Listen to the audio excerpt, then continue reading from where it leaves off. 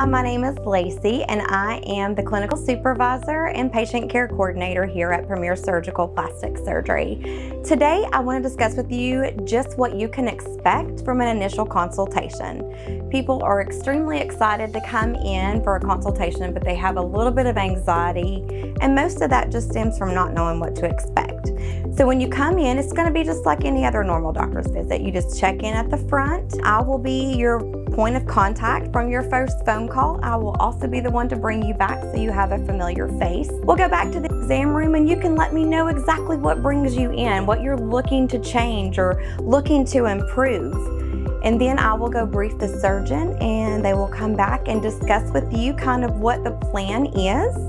Then the surgeon will step out and let you get changed into a robe so you were covered the entire time. So they'll come in and then they'll discuss with you after they do a physical examination with one of the medical staff exactly the plan that is tailored specifically to you. You'll do some measurements um, and just a normal physical examination. And then you guys will discuss a plan for you, um, whether it includes surgeries or in office procedures. And the next step is just getting some photographs for your medical chart. This is used for the surgeon to reference before your surgery, and it's also amazing to see your before and after results three to six months down the road.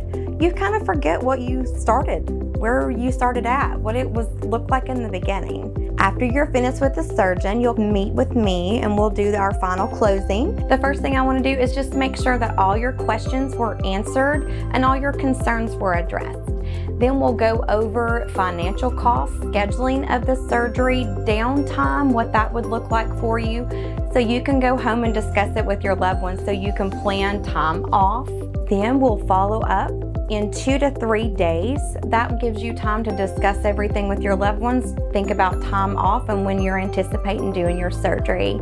Patient safety is always our number one goal, and the surgeon and the entire staff work together to make sure that this is successful for every patient. We pride ourselves on providing an excellent patient experience, but not only at your initial consultation, but every visit thereafter. We look forward to hearing from you and look forward to seeing you soon at your consultation.